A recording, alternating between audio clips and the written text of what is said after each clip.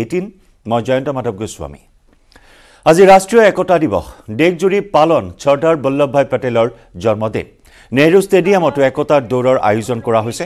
এই অনুষ্ঠানত অংশগ্ৰহণ কৰি মুখ্যমন্ত্ৰী ডক্টৰ হিমন্ত বিশ্ব শৰ্মাই লগতে অংশগ্ৰহণ কৰি কেন্দ্ৰীয় মন্ত্ৰী সৰ্বানন্দ সোণোৱালে মন্ত্ৰী ইউজি ব্ৰহ্মই অংশগ্ৰহণ কৰে একতাৰ দৌৰ এই অনুষ্ঠানত।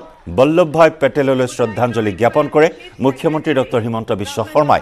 ৰাজ্যৰ তিনি হাজাৰ পাঁচশটা স্থানত আয়োজন কৰা হৈছে একতাৰ দৌৰ।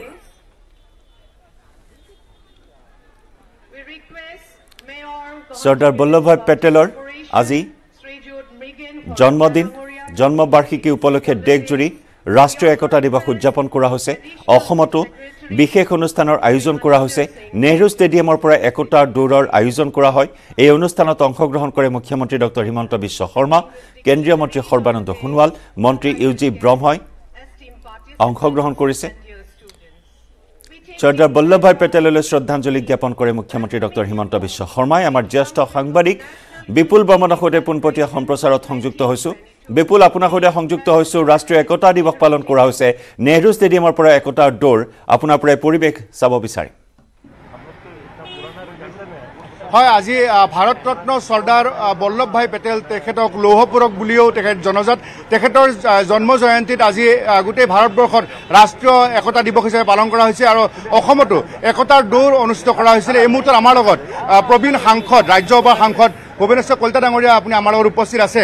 আজি আপুনিও উপস্থিত আছিলে এই যি একতাৰ দৌৰ চৰ্দাৰ বল্লভভাই পেটেল তেখেত এগৰাকী ভাৰত ৰত্ন লৌহ পুৰুষ আজিৰ এই অনুষ্ঠানটো সম্পৰ্কে কি ক'ব আপুনি? আজি লৌহ মানৱ ভাৰত ৰত্ন চৰ্দাৰ বল্লভভাই পেটেল ডাঙৰীয়াৰ জন্ম জয়ন্তী আৰু সমগ্ৰ ভাৰতবৰ্ষৰ লগতে অসমতো এই একতাৰ দৌৰৰ যোগেৰে তেখেতৰ যি আদৰ্শ আৰু তেখেতৰ যি মতবাদ তথা তেখেতৰ যি কৰ্মৰাজি আজি আমি সোঁৱৰিছোঁ আৰু আমাৰ নৱপ্ৰজন্মই তেখেতৰ আদৰ্শৰ দ্বাৰা আজি অনুপ্ৰাণিত হৈ তেখেতকৰ ভৱিষ্যত জীৱন যাতে পৰিচালনা কৰিব পাৰে তাৰ কাৰণে আমি আহ্বান জনাইছোঁ। আৰু আমি সকলোৱে এই মহান নেতাগৰাকীক আজি গভীৰ শ্ৰদ্ধাঞ্জলি জ্ঞাপন কৰিছোঁ। ধন্যবাদ। এয়া আছিলে ৰাজ্যসভাৰ প্ৰবীণ সাংসদ ভুৱনেশ্বৰ কলিতা ডাঙৰীয়া। তেখেতে সুন্দৰভাৱে চৰ্দাৰ বল্লভভাই পেটেলৰ কথাখিনি ক'লে।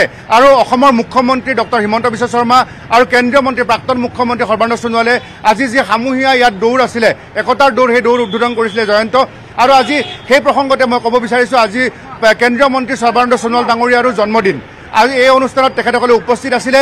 আৰু মুখ্যমন্ত্ৰী ডাঙৰীয়াই তেখেতৰ ভাষণ প্ৰসংগত এটা কথা কৈছে যে আমাৰ অসমৰ ছাত্ৰ ছাত্ৰীসকলে যেতিয়া এক্সকাৰ্ছনত যায় তেতিয়া সেই তেতিয়া যে বল্লভভাই পেটেলৰ যি আপোনাৰ বডোদৰাৰ যি প্ৰতিমূৰ্তি আছে সৰ্বোচ্চতাৰ সৰ্বোচ্চ প্ৰতিমূৰ্তি এশ বিৰাশী মিটাৰ ওখ সেই প্ৰতিমূৰ্তি চাবলৈ সকলোকে অনুৰোধ জনাইছে। আৰু নেহেৰু ষ্টেডিয়ামৰ পৰা ওলোৱা এই একতাৰ দৌৰৰ যি দৌৰ এই দৌৰ মাৰ্চ পাষ্ট কৰিছে আৰক্ষীৰ জোৱানসকলে তেওঁলোকে ডি জি পি অফিচৰ ফালে গৈছে আৰু মোৰ সোঁফালে আপোনাৰ গুৱাহাটী ক্লাবৰ ফালে যিসকলে দৌৰিছে তেওঁলোক গৈছে। তেওঁলোকে উভতি অহাৰ পিছতো সেই পৰিৱেশ দেখুৱাম। এই মুহূৰ্তত আমাৰ ছিনিয়ৰ কেমেৰা পাৰ্চন অঞ্জন আৰু মই আমি নেহেৰু ষ্টেডিয়ামৰ পৰা এই কথা জনাইছোঁ যে আজি অসমৰ তিনি তিনি হাজাৰ পাঁচশটা স্থানত এই একতাৰ দৌৰ অনুষ্ঠিত হৈছে আৰু গুৱাহাটীৰ কেন্দ্ৰীয় অনুষ্ঠানটো অসমৰ মুখ্যমন্ত্ৰী ডক্টৰ হিমন্ত বিশ্ব শৰ্মা আৰু কেন্দ্ৰীয় মন্ত্ৰী সৰ্বানন্দ সোণোৱালে উদ্বোধন কৰিছিলে য'ত মন্ত্ৰী ইউ জি ব্ৰহ্ম সাংসদ Bhubaneswar Kalita D G P ডাঙৰীয়া আৰু মুখ্য সচিব ডাঙৰীয়াও উপস্থিত আছিলে। এক সুন্দৰ পৰিৱেশত আমি দেখিছিলোঁ যে আজি নেহেৰু ষ্টেডিয়ামত ক্ৰীড়াৰ উৎসৱমুখৰ পৰিৱেশ বিৰাজ কৰিছিলে। আৰু আজি গোটেই ভাৰতবৰ্ষতে ভাৰত ৰত্ন লৌহ পুৰুষ এই চৰ্দাৰ বল্লভভাই পেটেলৰ যি জন্মদিন এই জন্মদিনটোৱে ৰাষ্ট্ৰীয় একতা দিৱসত একতাৰ দৌৰ হিচাপে পালন কৰা হৈছিলে। এই মুহূৰ্তত উপায়ুক্ত ডাঙৰীয়া আমাৰ লগত আহি উপস্থিত হৈছে। আজি খুব সুন্দৰভাৱে এই অনুষ্ঠানটো আপোনালোকে অনুষ্ঠিত কৰিলে। অকণমান জনাওকচোন। আজি খুব ইম্পৰ্টেণ্ট ডে চৰ্দাৰ বল্লভভাই পেটেলক আৰু নেশ্যনেল ইউনিটি ডে হিচাপত আমি লৈছোঁ ৰাতিপুৱা মোৰ then fifteen hundred around two thousand people children N G Os Uh, departments, sports person, police, everyone has uh, participated.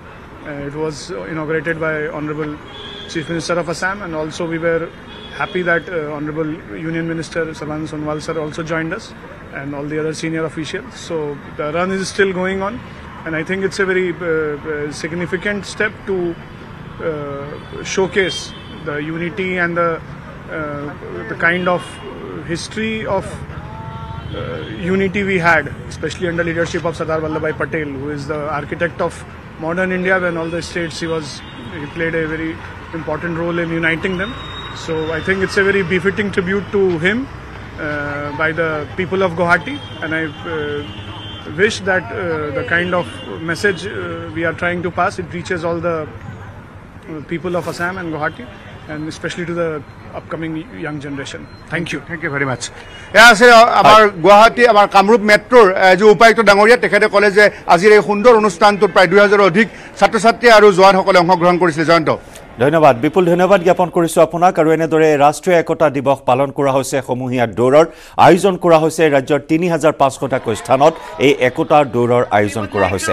Sardar Vallabhbhai পেটেলৰ জন্ম জয়ন্তী উপলক্ষে এই বিশেষ কাৰ্যসূচী আজি সমগ্ৰ দেশজুৰি ৰূপায়ণ কৰা হৈছে.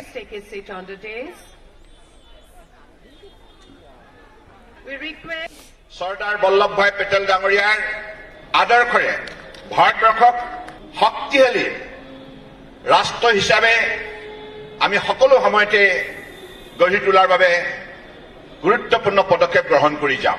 পৰম শ্ৰদ্ধাৰ প্ৰধানমন্ত্ৰী নৰেন্দ্ৰ মোদী ডাঙৰীয়াই দুহেজাৰ চৈধ্য চনৰ পৰাই এই মহৎ কাৰ্যসূচী হাতত লৈ ভাৰতবৰ্ষৰ লৌহ পুৰুষ আইৰণ মেন যিগৰাকীয়ে স্বাধীনতাৰ পাছত বিভিন্ন ৰাজ্যসমূহক ঐক্যবদ্ধ কৰি ৰাষ্ট্ৰীয় একতাৰ বাবে যি মহৎ পদক্ষেপ লৈছিল তাৰ প্ৰতি তেখেতৰ যিখিনি বৰঙণি সেই বৰঙণি আজি বিশেষভাৱে কৰিবৰ বাবে আৰু উঠি অহা প্ৰজন্মই যাতে চৰ্দাৰ বল্লভভাই পেটেল ডাঙৰীয়াৰ উল্লেখযোগ্য অৱদান সকলোৱে গভীৰভাৱে উপলব্ধি কৰিব পাৰে তাৰ বাবে এনেধৰণৰ মহৎ কাৰ্যসূচী মাননীয় প্ৰধানমন্ত্ৰী নৰেন্দ্ৰ মোদী ডাঙৰীয়াই আৰম্ভ কৰিলে।